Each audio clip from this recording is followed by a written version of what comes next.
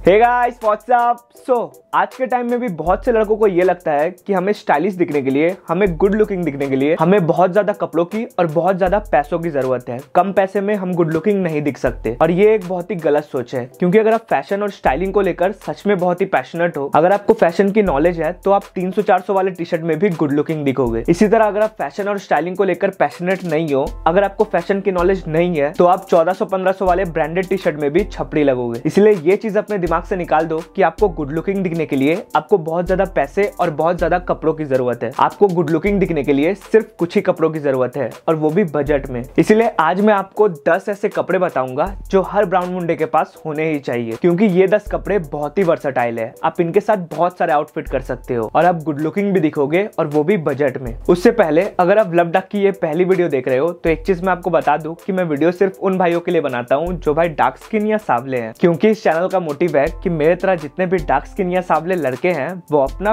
Best version बन सके। तो वीडियो पसंद आए तो वीडियो को प्लीज़ लाइक कर देना। और इंस्टाग्राम पे फॉलो करना मत भूलना दीपक शाह ऑफिशियल के नाम से है लिंक डिस्क्रिप्शन में। सो so, पहला कपड़ा है एक ब्लैक जीन्स वैसे तो मार्केट में बहुत तरह के जीन्स मिलते हैं बट अगर आप मुझसे पूछो कि मुझे कोई एक ऐसा जीन्स बताओ जिसे मैं किसी भी कपड़े के साथ पहन सकूँ तो वो है ब्लैक जीन्स ब्लैक जीन्स एक ऐसा जीन्स है जिसे आप आँख बंद करके किसी भी कलर के कपड़ों के साथ पहन सकते हो। ये हर कपड़े के साथ अच्छा लगता है।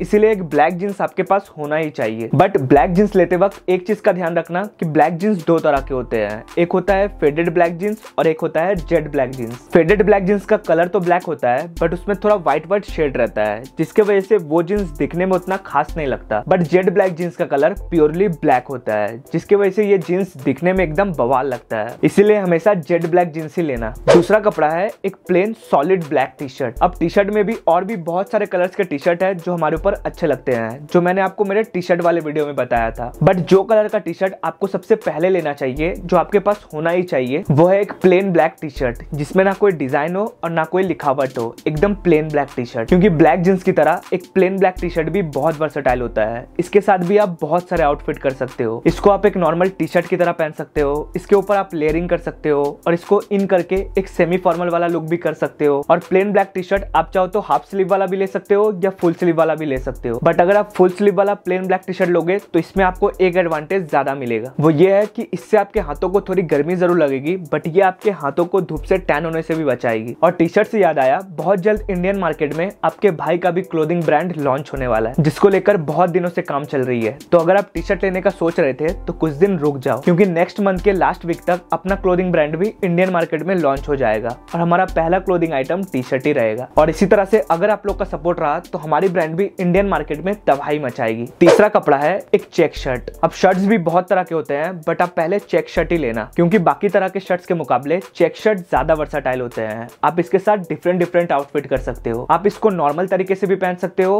और आप इसको एक जैकेट की तरह लेयरिंग करके भी पहन सकते हो। बट बाकी तरह के शर्ट्स को आप लेयरिंग करके नहीं पहन सकते हो, क्योंकि लेयरिंग में चेक शर्ट ही ज़्यादा स्टाइलिश लगता है। और चेक शर्ट लेते वक्त भी एक चीज़ का ध्यान रखना कि चेक शर्ट दो तरह के होते हैं। एक होता है सिंगल स्ट्राइप वाला चेक शर्ट और एक होता है डबल या ट्रिपल स्ट्राइप वाला चेक शर्ट तो आप हमेशा डबल या ट्रिपल स्ट्राइप वाला चेक शर्ट ही लेना, क्योंकि ये हमारे ऊपर ज़्यादा अच्छा लगता है। और चेक शर्ट डार्कर कलर वाले लेना लाइट कलर वाले मत लेना। चौथा कपड़ा है, एक ग्रे कलर का चीनो। अब पहले मैं आपको ब्लैक कलर का चीनो बताने वाला था बट फॉर्मल आउटफिट को छोड़कर ब्लैक कलर की चीनो की जगह आप ब्लैक जीन्स भी पहन सकते हो। इसलिए मैंने आपको ब्लैक कलर का चीनो नहीं बताया, आप ग्रे कलर का चीनो लेना। क्योंकि ग्रे कलर का चीनो भी ब्लैक कलर के चीनो की तरह बहुत वर्सेटाइल होता है। ग्रे कलर के चीनो के साथ आप फॉर्मल लुक भी कर सकते हो सेमी फॉर्मल लुक भी कर सकते हो और कैजुअल लुक भी कर सकते हो। और इसके साथ आप ऑलमोस्ट बहुत सारे आउटफिट कर सकते हो। पांचवा कपड़ा जो हर ब्राउन मुंडे के पास होनी चाहिए वो है एक प्लेन हुडी क्योंकि आपको तो पता ही है कि विंटर में हुडी कितना स्टाइलिश लगता है। इसलिए एक हुडी तो आपके पास होना ही चाहिए। बट हुडी दो तरह की मिलती है। एक होती है चेन वाली हुडी और एक होती है विदाउट चेन वाली हुडी तो आप पहले चैन वाली हुडी लेना। क्योंकि चेन वाली हुडी ज़्यादा वर्सटाइल होती है। इसे आप चेन लगाकर एक हुडी की तरह भी पहन सकते हो और चैन खोलकर इसे आप एक जैकेट की तरह भी पहन सकते हो। इसलिए पहले चैन वाली हुडी लेना। और जो कलर की हुडी आपको सबसे पहले लेनी चाहिए, वो है ब्लैक कलर की हुडी। सिक्स कपड़ा है, एक कॉटन वाला ट्रैक पैंट। अब देखो, आपको अपने मोहल्ले, अपने एरिया में भी स्टाइलिश दिखना है ना तो अपने मोहल्ले, अपने एरिया में स्टाइलिश दिखने के लिए एक कॉटन वाला ट्रैक पैंट सबसे बेस्ट पैंट होता है। क्योंकि इसे पहनने के बाद आप कंफर्टेबल भी रहते हो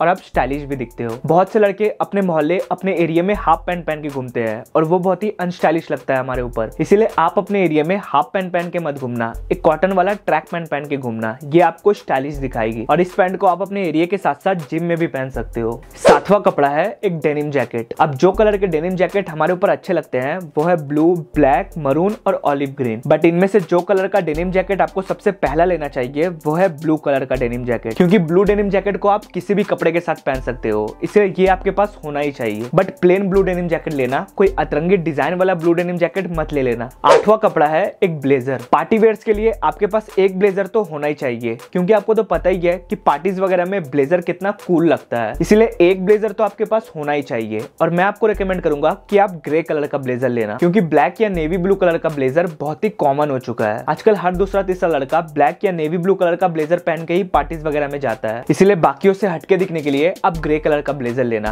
और ग्रे कलर का ब्लेजर भी बहुत वर्सेटाइल होता है। नाइन्थ कपड़ा है। एक्चुअली ये कपड़ा नहीं फुटवेयर है। वो है एक ब्लैक लोफर अब पहले मैं आपको फॉर्मल शू बताने वाला था बट फॉर्मल शू उतना वर्सेटाइल नहीं होता है बट लोफर बहुत वर्सेटाइल होता है, क्योंकि लोफर फॉर्मल आउटफिट के साथ भी अच्छा लगता है सेमी फॉर्मल आउटफिट के साथ भी अच्छा लगता है, और कैजुअल आउटफिट के साथ भी अच्छा लगता है। और सबसे पहले आप ब्लैक कलर का ही लोफर लेना, क्योंकि ब्लैक कलर का लोफर इजिली किसी भी आउटफिट के साथ मैच कर जाता है। एंड फाइनली दसवा कपड़ा, जो हर ब्राउन मुंडे के पास होनी चाहिए, ये भी एक फुटवेयर है वो है एक व्हाइट स्नीकर अब व्हाइट शू के बारे में मैं आपको क्या बताऊँ? आपको तो पता ही है कि व्हाइट शू कितना वर्सेटाइल होता है और कितना स्टाइलिश लगता है दिखने में। व्हाइट शू को आप आँख बंद करके किसी भी आउटफिट के साथ पहन लो फॉर्मल सेमी फॉर्मल कैजुअल आप अच्छे ही लगोगे। इसलिए एक व्हाइट शू तो आपके पास होना ही चाहिए। और ध्यान रखना व्हाइट शू प्लेन होना चाहिए। उसमें कोई डिज़ाइन या लिखावट नहीं होना चाहिए। तभी वो व्हाइट शू ज़्यादा क्लासी लगेगा। तो ये थे वो दस कपड़े जो हर ब्राउन मुंडे के पास होने ही चाहिए। और इन दसों कपड़ों का परचेस लिंक मैंने नीचे डिस्क्रिप्शन में डाल दिया है। आप लिंक पे क्लिक कर कर उसे खरीद सकते हो। तो ये थी आज की वीडियो वीडियो पसंद आई है तो वीडियो को लाइक कर देना।